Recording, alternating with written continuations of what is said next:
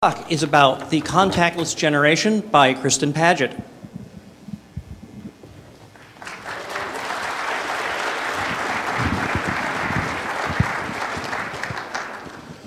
Thank you.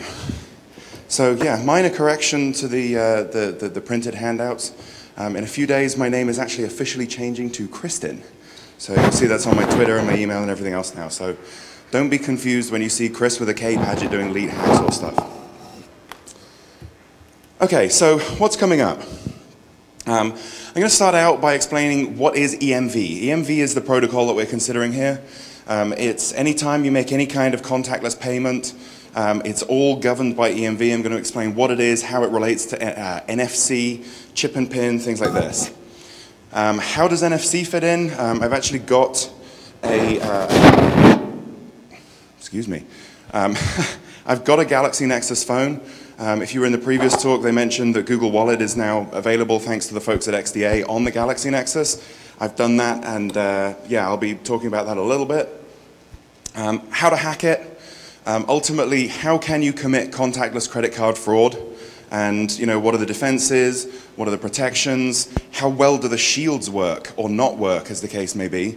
Um, lots of demos coming up. A um, couple of demos of live fraud. I'm going to actually be asking for, for volunteers from the audience at a couple of points.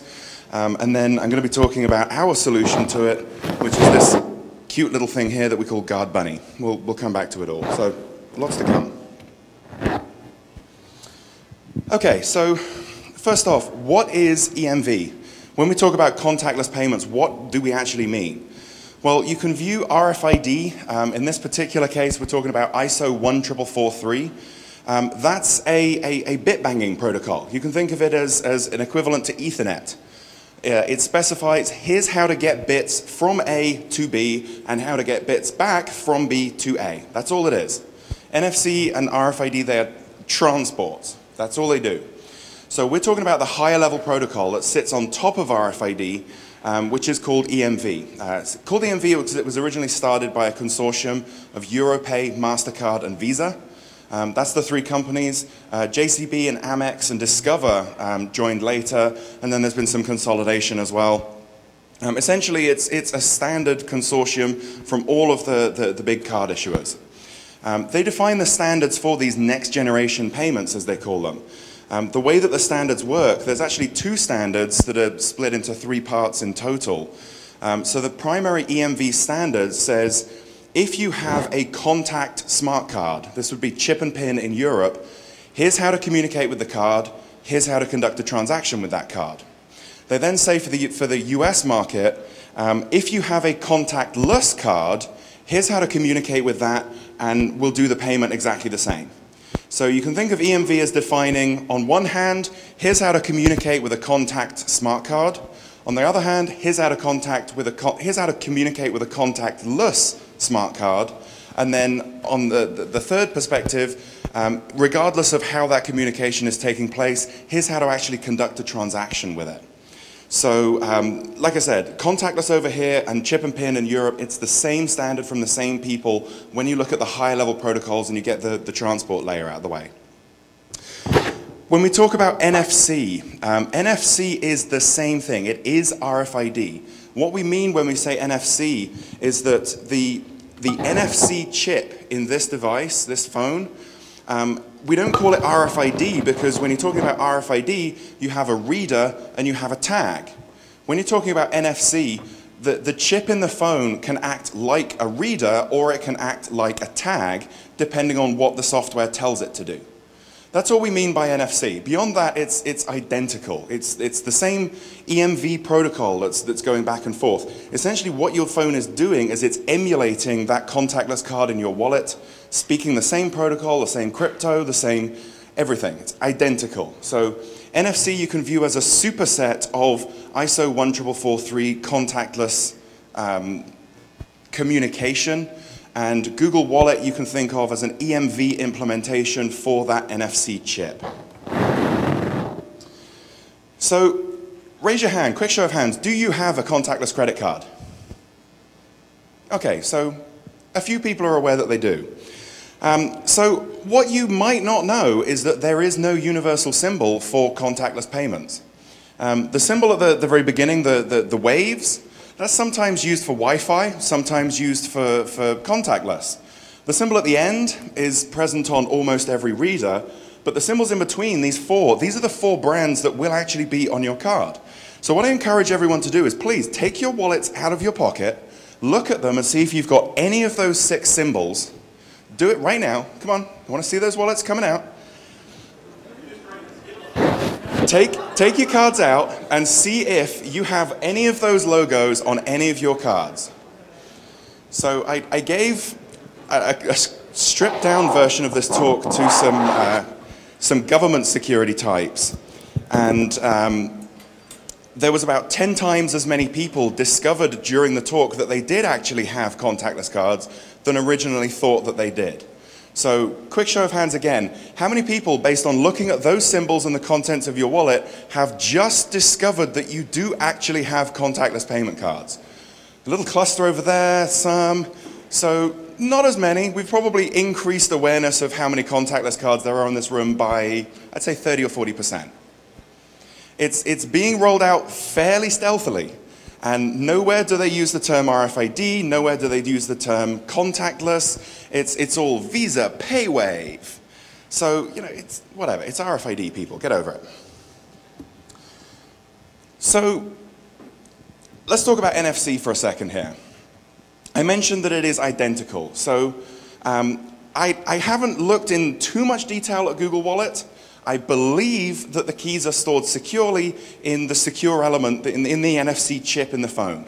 So in theory, and, and this is you know, a big piece of conjecture here, um, in theory, it should not be possible for malware on the phone to extract the keys from NFC and clone your credit card. I guarantee that sooner or later you're going to see a presentation either here or at DEF CON where someone does do that. Um, but in theory, that, that is secure. Um, so yeah, reversing the software, malware on the phone, it shouldn't allow key recovery by design. If it does, there's a problem. Um, the NFC phone, the NFC application on the phone must be active.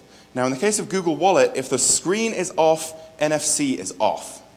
So this is a big, big difference between NFC and a contactless card. You cannot turn off a contactless card, you can turn off NFC. Unless, of course, you've got a BlackBerry, in which case you can't turn off NFC, um, but then it doesn't support EMV anyway, so you, yeah, whatever. We'll, we'll figure that one out later. Um, another good protection with NFC, you need a PIN number to unlock it. There's no PIN number on a contactless card. Um, you have a timeout, so you know, after you conduct a transaction, you can say, right, stay active for one minute and then turn off, and then require that PIN number again before you can, you can unlock. Essentially, it's, it's the same protocol, but there's a bunch more security layered on top of it. So I, I, don't have anywhere near as many complaints about NFC as I do with um, just straight EMV cards, largely because you can turn the thing off. That's essentially what it comes down to. If I was given a choice between an NFC app on my phone or a contactless EMV card, I choose NFC every time because it has that off switch. So let's talk about the, um, the actual cards now. Well, I came back from, uh, from DEF CON a couple years ago and found this sitting in my mailbox. Turns out that Chase had just decided to reissue every card that, that they'd ever issued with contactless. So this thing sat in my mailbox for a couple of weeks because I was you know, away on business before DEF CON and all the rest of it. Um, however, the card itself is secure. Now, what do I mean by secure in this context? If you look at how much it would cost you as an attacker to extract the key out of this chip to the point where you can conduct transactions, you can do it. You can always do it. Just ask Travis Goodspeed. You know, he, he decaps the chips, extracts keys. You can always win. The point is it's going to cost you a lot of money. Depending on how good this chip is, it's going to cost you between lower end is about $100,000, higher end could be half a million or up. So let's say, you know, somewhere in the middle, it's going to cost you quarter million dollars to extract the key from this card. Do you really expect I've got a quarter million dollar credit limit? I don't. So it's not worth the attacker's while to attack this device, therefore it is secure, at least for, for, for this purpose. So the card is secure. The reader, likewise, the reader uses a secure microcontroller. It, it stores various EMV keys in it, um, you know, primarily public keys so that it can verify the card. It is, again, a secure device. It uses a secure microcontroller. You know, there's, there's some reasonably strong protections in it. Well, what about the protocol that the two talk? Well, up until I, I met the, the, the, two previous speakers, Max and Corey, um, I thought that protocol was secure. I, I might be wrong on that one. Um, certainly, this card is capable of an immense level of security. These JCOP cards, these, these things run Java. No kidding, your credit cards run Java. How cool is that? Um, they have off-board cryptographic coprocessors. So this thing even has two CPUs, one of which is capable of doing secure on-chip RSA key pair generation. How awesome is that? These things can do SSL. If you wanted to write an SSL application for my credit card, you could do that. These things have immense capabilities. So if there isn't protocol level security, then they're, they're doing it wrong. Unfortunately, it appears that they are doing it wrong. Um, we, we haven't confirmed all the details yet. I, I, we're, we're, just kind of catching up on each other's research. We, we, we kind of, you know, decided to join forces a few days before ShmooCon, and then, you know, alcohol happened. Um, so we, we haven't quite figured everything out. Certainly from what they're doing and from what I understand of the protocol, at least some of the data goes by in plain text. At least some of the data is unencrypted. Um, you can definitely extract a card number without authenticating to the card. Um, you can probably extract more, but there may be additional uh, uh, info that's available or additional encryption or authentication that's required. Certainly some data is available, uh, more work is needed. So yeah, the protocol, they're doing it wrong. That's all it comes down to. So, so let's, let's you know, back off from that a second. Let's, let's give them the benefit of the doubt and say, okay, you know, it's, it's a secure device talking a secure protocol to a secure reader. We all, we all you know, let, let's just accept that for a moment. Where's the problem? The problem is when you consider each of these devices in isolation, they're fine. When you put it together as a system, it falls down almost immediately. It just, it, it just dies catastrophically in security terms because this is expected to talk to a point of sale terminal. Now, point of sale terminals don't understand RFID because RFID wasn't around when most of these POS systems were designed. Therefore, they understand mag stripes. Therefore, this acts like a magstripe reader and outputs magstripe formatted data. No kidding. If I swipe this card over this reader, I have a serial port right here, and out of this serial port comes everything that I need to conduct a transaction in nicely formatted magstripe format. So literally, all I have to do is forget the fact that there might be security here, Forget the fact that there's security here. Forget the security between the two and just spend 50 bucks on eBay to buy my reader and let it do all of this horrible security stuff for me and look at the plain text that comes out of it by design. It's a little silly. A little bit. So how do you turn this into fraud? Well, like I said, these things are widely available. You can buy them used on eBay for around 50 bucks. Um, if you want to buy them brand new, you get some nice, uh, nice test cards and you know other odds and ends. They're about 200 bucks new. Um, they're, they're not expensive.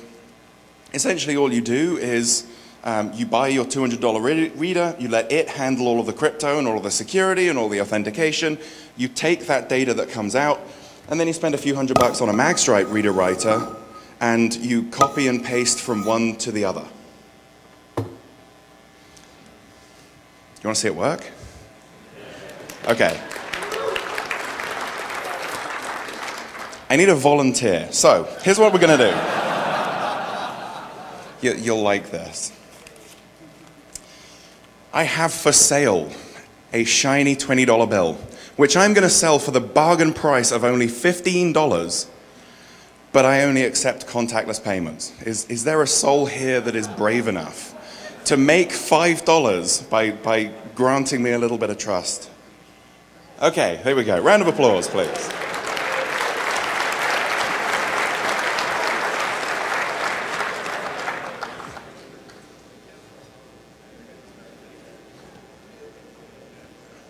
You're my newly discovered back, uh, well, you know, this card is my backup card that I never use. So. Oh, that one, yeah.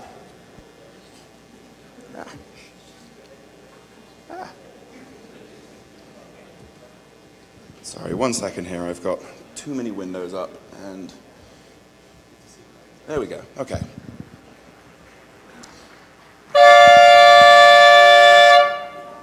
Yeah, okay, I'll get a move on.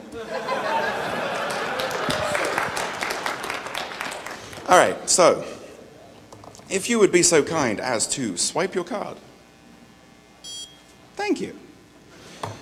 Um, if you look at the screen, there's nothing happening. That's not a good sign. Good for me. I mean, Try it again. Trust me. Ass. Okay, these readers can be a little flaky. Corey, do you have one I can borrow? Damn it. Um, of course. Uh, let me just try my test card here, make sure it's working.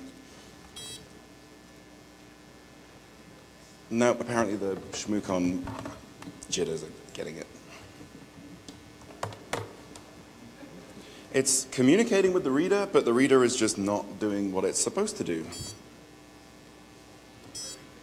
Damn you. Well, let me, let me try turning it off and on again.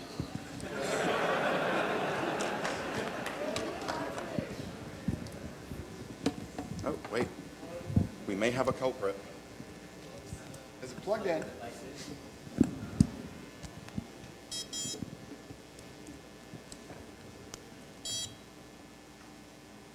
Yay, now we're working.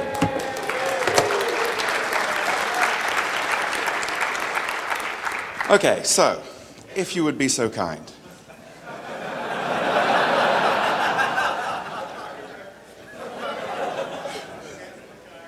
I love this just because I'm, I'm wearing a security shirt and I know my name and my expiration last four going up there and I'm calling and canceling my card.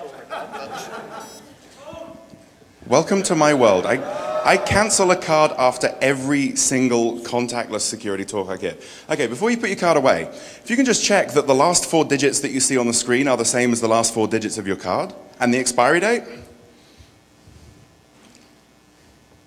Okay, right. Hold that thought one second. So, now what we need to do is uh, uh, come back to this window and come to the MagStripe Writer software. So this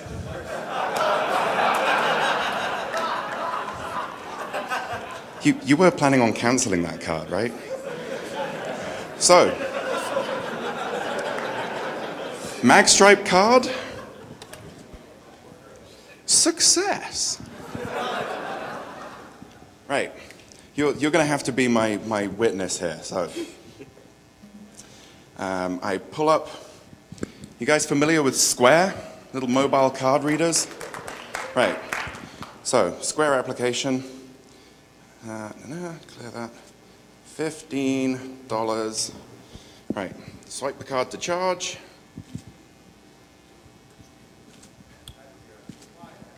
Oh, please retry. Swipe more quickly. Authorizing.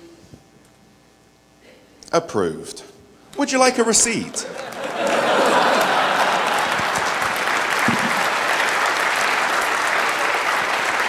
Phone number or email address in there.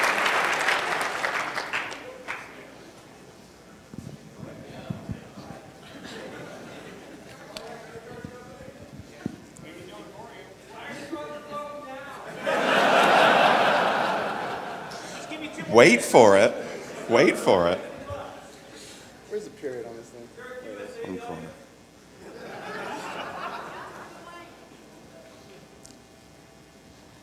You paid $15. Thanks.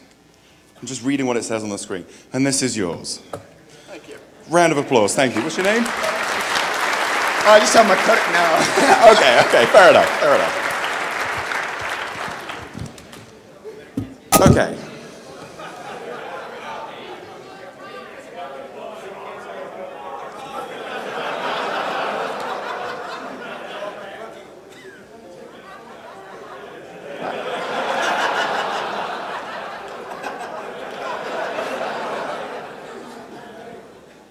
Who wouldn't trust this? Come on.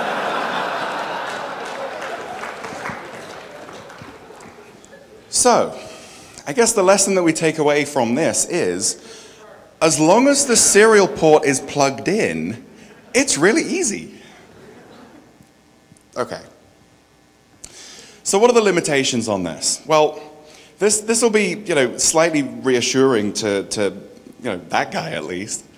Um, the way that these these EMV cards work, every time you read that card, um, you get a different CVV code. So so if you have a contactless card, you've actually got three CVVs on there. You've got one CVV that's printed on the back. That's the one that you, you give over the phone when you're ordering pizza. You have another that's encoded on the mag stripe, different CVV. The, the, one, the CVV that I get from a contactless read, it changes every time I read the card. So I get one transaction to conduct per read of the card. So I don't know how many times I just read that card, but it was the last one that actually succeeded, went onto the magstripe and was processed, which means that I cannot use any of those earlier reads. If I tried to, his card would just be automatically disabled, even though he's clearly on the phone with his bank right now. Whatever. So, so you can think of it like a, uh, an, an, RSA uh, SecurID key fob. Um, probably about as secure as well. Um, the, the, if you present the, the, the, rotating CVV, if you present those out of order, the card gets disabled. The tag that gets disabled at least.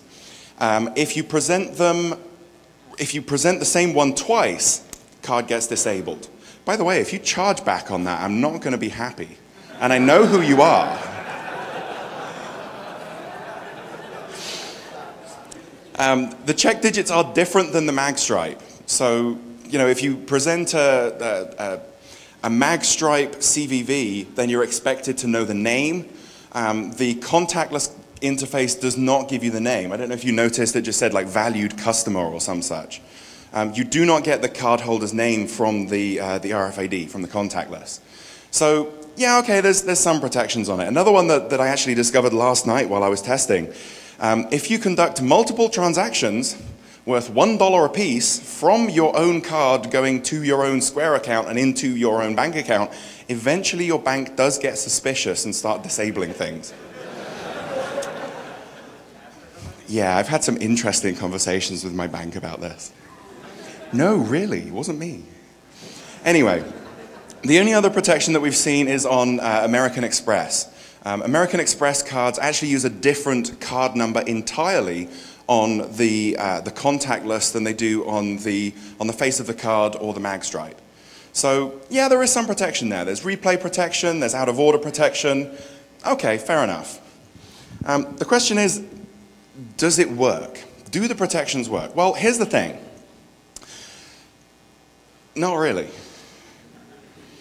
I can read the card multiple times and conduct multiple transactions. As long as I present those CVVs in order, the card has no idea of time, so why wouldn't it work? Um, even more than that, consider the fraud vector. Um, let's say, for the sake of argument, that some evil person had put a high-powered RFID reader behind the door as you were walking in. And let's say, for the sake of argument, that high-powered RFID reader was reading every credit card that walked through that door, every single one of them. With traditional magstripe style credit card fraud, you swipe the card once through my reader and I get all of your details and I can conduct as many transactions as I like. On the back end of that, the, the processor sees that all of these different people are reporting fraudulent charges and they all shopped at my store so they know that I'm, I'm malicious. And they can not only charge back those transactions, they can correlate it back to me as the fraudster and start disabling things. Well, we're making mag stripes. We can use those anywhere, anywhere except mag stripes. And okay, it doesn't have to be a, you know, bare white piece of plastic that looks kind of fishy. There's nothing to stop me reprogramming the mag stripe on this, and then it looks perfectly legit. So I can harvest lots and lots and lots of card numbers, write them back to lots and lots of cards and use them in lots of different places. There's no single point of correlation anymore.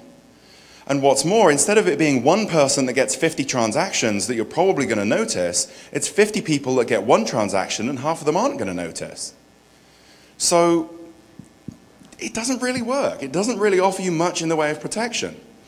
So it, it, it just forces the bad guys to change their tactics a little bit. And the important point is, for me to read your magstripe, you have to give me your card. He never gave me his card. I never touched that thing. Never had physical contact with it. My, my equipment doesn't even necessarily have to have physical contact. I mean, depending on whether you count radio waves as or electromagnetic or magnetic field, whatever RFID is. If you count that as physical contact, eh, maybe. But that's a stretch at best. You want to see it work?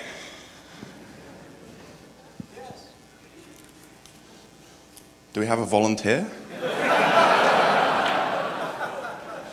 For real. So, um, what, I'm, what I'm finding is that uh, different banks throw fraud alerts in different ways and after different numbers of transactions.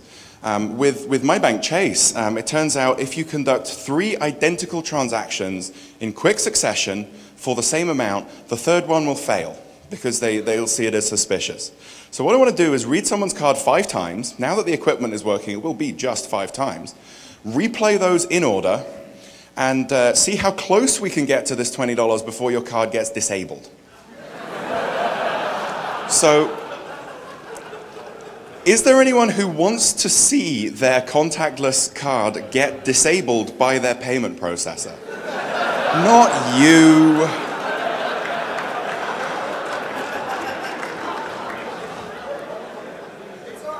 I, I can't do it with my card because I've already hit that point. Come on, do we have a volunteer? Someone. No one? Say that again? Uh, I'm not. So here's the thing. The first transaction will be 10 bucks, the second one will be 5 bucks, and then each successive one will be a dollar. So if they disable the second one, you get a real bargain on this $20 bill.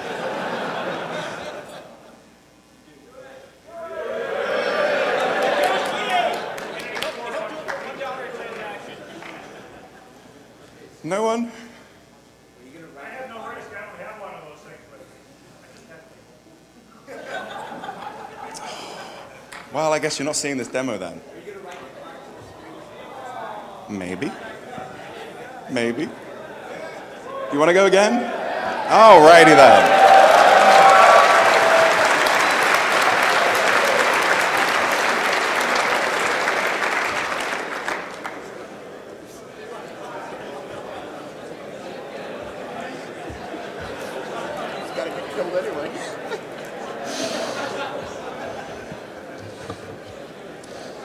Okay. If you would be so kind as to swipe, let's, let's go for five times, see how, see how, how, we, how we do.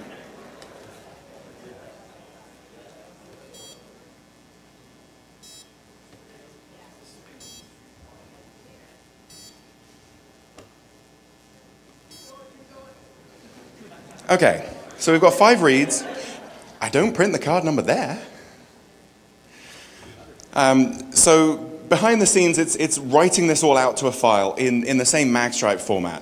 Um, I, I could show you the raw data, but, but then I'd be putting card numbers on screen. And I don't want to do that. So, okay, let's go back to our magstripe writer.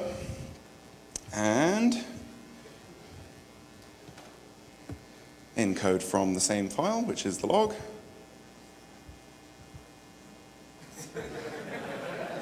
This is not the card number you're looking for.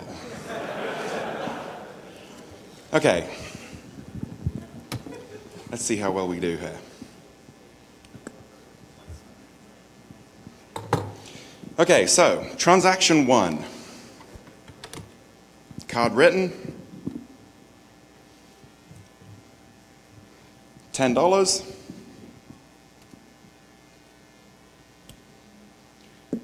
Authorizing. Approved. Nah, you don't need a receipt. Done. Transaction two. Five dollars. Swipe the card. Authorizing, approved. Still don't need a receipt. You, you may not get too much of a bargain on this $20 bill. Okay, transaction three. Cards written, $2. Oh no, that's, No, no. that's 200. I still don't need a receipt. Swipe it. Authorizing. Oh, payment was not approved. Well, your $15 of $20 bill. Thank you very much.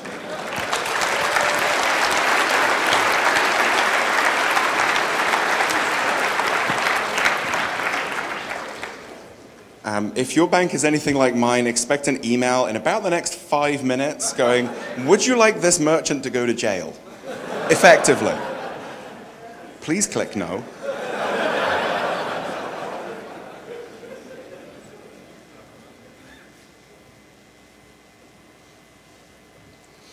Okay, so you, you, you get the gist of it. If I read the card multiple times, I can write multiple mag stripes. As long as I write about in sequence, I can conduct multiple transactions. Um, arguably, I conducted three in a row there because, you know, it was the same guy. Um, I got three transactions, the fourth was rejected. With my own card, I got two transactions, the third was rejected. The, the back-end processors set their own rules for this. But the point is, that's all going through the same point of sale terminal. If I'd taken this thing up to the hotel and, and you know, swiped that card in the lobby, by the way, your RFID interface is now off. You will not be able to use that as a contactless payment card now because it's, it's tripped that alert on the back end. If that hadn't happened, I'd be able to write a card and just you know, take it to 7-Eleven or you know, buy dinner with it or you know, keep using them in different places and that alert would never go off. So um, yeah, multiple reads means multiple transactions. So let's up the ante on this a little bit. Um, uh, high-powered readers. This thing puts out a couple hundred milliwatts. We can do better. Um, three to five inches is actually pretty optimistic for this stuff. Um, we, if we took you know, the 200 milliwatt output from that, um, it, it operates at 13.56 megahertz. Well, 14 megahertz is, is a ham band, which means that you can buy ham radio equipment that works at 14 megahertz, and it's close enough. It, it works. So you can get oodles of power really, really easily. I'm talking lots of power, like one and a half kilowatts is completely legal. What could possibly go wrong? Um, so yeah, you can just keep amping up the power. And as you amp up the power and as you amp up the size of your antenna, your read range goes up and up and up. We believe, but we have not yet observed, that there is a theoretical limit somewhere around the 30 or 40 feet mark, we think. Um, we haven't actually gotten there yet. Um, I was hoping to have a high-powered reader to demo here, um, but we made the mistake of, of, going from 5 watts to 20 watts and the magic smoke escaped. Um, we, we didn't get time to rebuild it in time for the conference. Um, I, I, apologize. Uh, I, will probably have something along, it, along those lines ready for DEF CON, um, most likely. But yeah, suffice it to say, it's, it's well within theory, it's well within predictions to say that tens of feet of read range are possible. But if you think about it, like I said, you know, when you're talking about choke points like doors, um, anything over, you know, two feet is, is totally workable. So yeah, you can, you can do that. So what about defending this stuff? Well, what about these, these passive shields, these foil things? I'm sure you've, you've come across these things, right? I have a, a handful of them here. These, these little foil things, they, they work, right? They're, they're Faraday cages. Well, no, they're not. Anyone who calls this a Faraday cage is an idiot. and you have my permission to slap them. The reason, the difference between this and a Faraday cage is that a Faraday cage is grounded. What that means is, as the energy is coming into this, this will develop a charge. Some of that charge will leak through into the card. If the thing is grounded, that charge dissipates to ground. There is no overall net charge on the device, so nothing gets through to the device inside it. So yeah, this is not a Faraday cage. This reduces the strength of the signal, it does not block it. Therefore, it does not block high-powered readers if you have a high enough powered reader.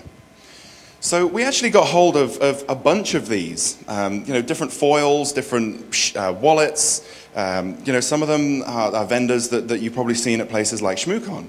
We got hold of these, we rented out a, an anechoic RF chamber, and uh, we, we tested them. Um, results are coming up in a sec, but the point is, the standard that all of these comply to, in fact, this very one, uh, okay, this one doesn't say it's, it's FIPS 201 approved. A lot of them say they're FIPS 201 approved. What FIPS 201 says is it's, it's all about the cards. And for the shields, they just say it, it stops it reading. So as long as there is a combination that that manufacturer can find of a card and a reader that doesn't work when their shield is around it, you're FIPS 201 approved. That's it. They specify nothing about power levels, nothing about attenuation, all of this stuff. So when we actually tested this, um, this is the attenuations that we saw. Um, so you're looking at a logarithmic scale. Um, each line is a factor of 10. So we're looking at decibels. We tested you know, a bunch of different products at the three major RFID bands, 125 kilohertz, 1356 megahertz, 900 megahertz. And you can see the lines are all over the place. Some, some quick conclusions that we can draw from this. No single product stood out as the best. Um, DIFRwear, for example. DIFRwear was by far the best at 125 kilohertz. It was the second best at, at uh, 13.56 megahertz, but at 900 megahertz, it was almost the worst. There is no good and bad product unless you know what technology you're trying to shield. Crumpling can raise or lower performance. You can see uh, some of these items are listed twice, once with a star after it. The ones with a star after them means it's a foil shield and we crumpled it to simulate wear and tear. Well, if you look at the first one, uh, the smooth trip, um, at 900 megahertz, crumpling the card made it perform less well. So the further down the line goes, the better the shielding is. At 900 megahertz, it made it perform more weakly. It didn't block as much of the signal. At 13.56 megahertz, the same two cards, the same two, uh, sorry, the same two shields, one crumpled, one not, the crumpled one performed better than the uncrumpled one. So you now need to factor in not only how much power are you're putting into it, but how old is the shield? As well as, you know, what type of technology is it? What frequency are you using? Um, there's lots of variation on the market. So if you compare, let's say 13.56 megahertz, if you compare the worst one, which was the 3M card shield, um, that got a little over, that gave us a little over uh, 23, about 23 dB of loss. That's, that's reasonable. If you compare the best one, um, that gave us about 75 dB of loss. So there's a difference between the best and the worst of 50 decibels. Now, for those of you who don't speak radio, that's a factor of 100,000 difference between these two products. One product was 100,000 times as effective as another one, both of which are FIPS 201 compliant. The, the essence of this, the, the point to take away of this is that because there are no standards, there, there is no good product. We can't really say that any of these are good, we can't say that any of them are particularly bad. It's just a very complex problem to solve. And ultimately, you're, you're going to be defeated by the fact that the thing isn't grounded. So another quick demo here, just to kind of hammer home the, the, the idea that these things don't work.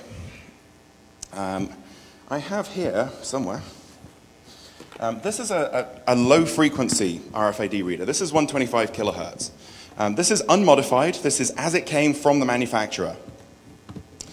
And if I take my 125 kilohertz tag, light goes green and the code would come up if I was, yeah. So that's the code. So light goes green, card reads.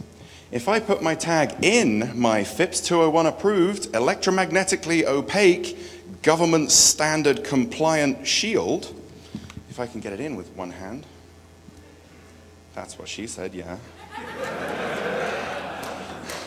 Thank you. So, shielded card. That's not right. It doesn't shield. They don't work. There was, out of all of the different products that we tested, there was only one that stopped a standard 125 kilohertz tag reading from a standard 125 kilohertz reader. And that was DIFRwear because they design for 125 kilohertz. Everyone else does 13.56. So yeah, there's, th there are no good products out there. So yeah, that's 125 kilohertz. So instead, we invented this. This is what we call the guard bunny. Um, the idea of the guard bunny is that it acts kind of like an RFID tag. Um, it absorbs RFID energy in the same way. It operates at the same frequency. The difference is this has no CPU, it has no memory, it has no data storage, it has, it has nothing. It's all passive discrete components, primarily. Um, because we have no CPU and memory, we're lower power than the tag.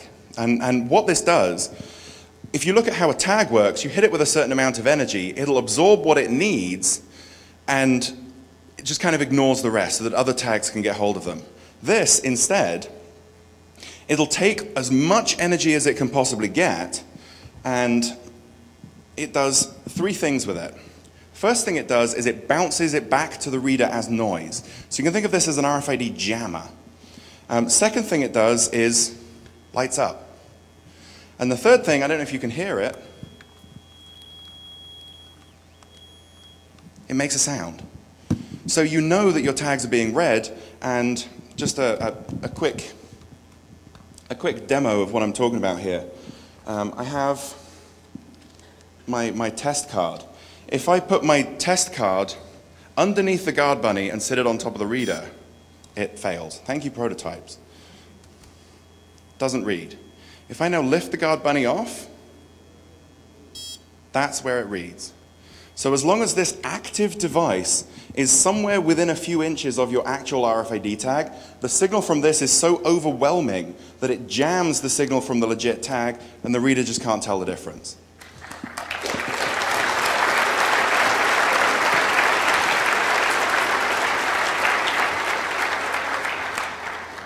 Is it perfect? No, it's not. If I had to design a reader that would defeat Guard Bunny, is it possible? Yes, I could do it.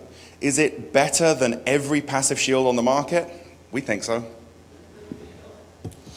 Um, when can you have one? At the moment, you can't. These, these prototypes, um, they cost more to make than you would want to spend on them, I guarantee it. Um, we're trying to commercialize it at the moment. Um, we're, we're getting it all down to an ASIC. Um, the problem is that when you want to do a, run of chips on a fab, um, you're looking at at least six to nine months of lead time. And it's not one of these problems where if you double the money going in, you can halve the time. It just, it doesn't work like that. So, you know, if, if anyone does know of, of you know, fabs, we're finding fabs all over the place in all kinds of surprising companies. Um, if, if anyone does have a fab that they want to loan us to, to do a, a, a you know, prototype run or production run, please, you know, get in touch. Um, we're happy to talk to folks about it. We, we, we, we hope to have it on the market soon. So that's it. Any questions? Thank you.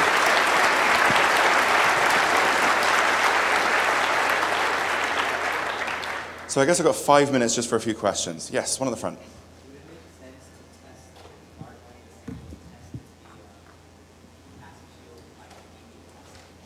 So the question was, would it make sense to test the guard bunny the same way as we tested the shields? No, it wouldn't, because um, guard bunny isn't trying to block the signal.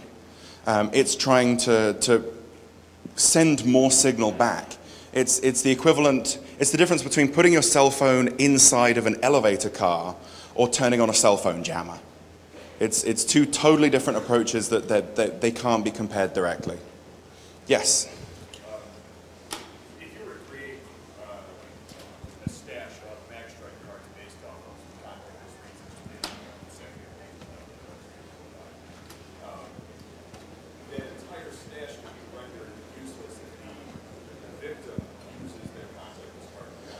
Right, so the question is, if I create a whole stash of, of contactless reads, if the person, if the victim uses their card once, does that stash get invalidated? Yes, it does. But again, it comes down to the breadth of the attack. If instead of reading 100 times for one person, I read it one time for 100 people. If 10% of those folks use their card, then you know, I've still got a bunch of good transactions. Yes. Double bagging your card. Um, we did actually test that. Um, it, it makes it better, but it's still not foolproof. You can still make a more powerful reader. Um, we, we actually tested you know, tin foil and some, some homemade shields, and they, they're all roughly the same. Yes?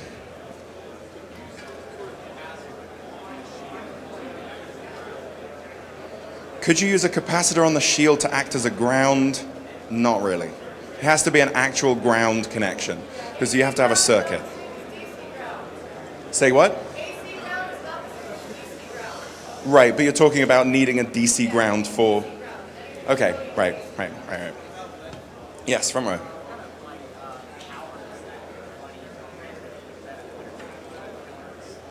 Uh, the Guard Bunny at the moment, uh, this prototype is configured for 13.56 megahertz because it's designed to protect uh, RFID credit cards. We can rebuild it for any frequency that we like.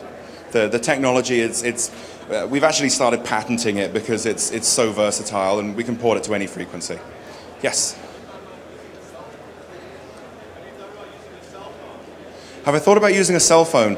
Uh, I have. Um, Guard Bunny works very well to shield NFC because it's the same protocol. If you were to do it the other way around and try and use the NFC to shield your credit card, you could do it, um, but it would drain your battery very, very quickly. Yes? Uh, microwaving it. Yes, this is a good point. Um, if you want to be truly secure against contactless credit card fraud, put your credit card in the microwave. Three seconds will kill the contactless chip. Five seconds will make the contactless chip catch fire. not kidding. It will not mess up the mag stripe. Yes? Uh, no, because I'm not transmitting. It does not violate FCC jammer rules because it's not a transmitter. It's a passively powered device that works on M field uh, rather than EM radiation. They classify jammers as EM transmitters. I am not transmitting. I am in M field, so I'm not a jammer according to FCC definitions. Yes? Uh, it's a, a ViVOpay 4500 uh, from a company called ViVOtech. Say again? Passports um, so uh, the actual US passport, in, in fact, uses exactly the same chip at the same frequency that contactless credit cards do. So it's exactly the same issues, um, same read range gains, same benefit from Guard Bunny, same problems with shielding. Yes?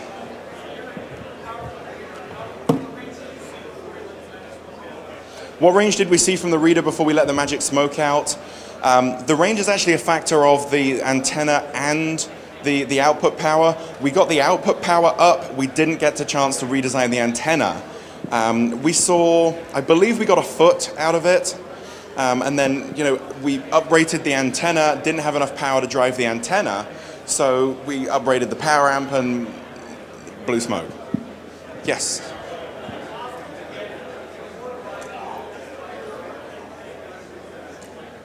So, so would you be able to use uh, a bunch of old expired cards to act as a shield for a current card? No, it wouldn't. Um, they have a, a very effective anti-collision protocol. So they will only speak one after the other and they'll be queried in sequence. They will all be read. Um, with, with this, if you, not with this particular reader, but it's certainly possible to take a bag full of these tags and throw it through the RFID field of a reader and all of the bags in that tag will be read.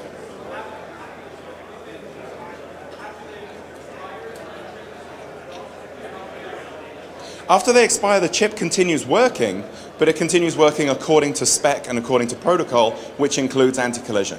So you'll just get expired information out of it. Yes?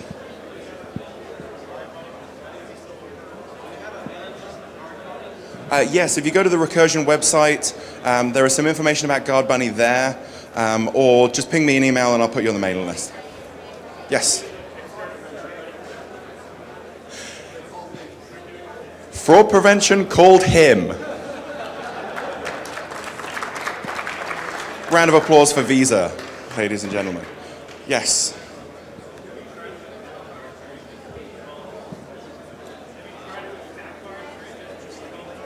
Have I tried with CAC or HSPD12? No, I haven't. Um, but it should work for anything that is governed by the ISO 14443 or ISO 15693 um, standards, which is a lot. So your MIFARE, all the various variants of it, your uh, HID iCLASS, um, basically anything that works at 13.56 will, will have the same effect. Okay, I should get out of here. Um, I'm going to be out there in just a few minutes when I've got all my gear packed up. I have to get out of here for the next speaker. So if you could just you know, find me outside in, in two minutes and I'll, I'll be happy to keep answering questions.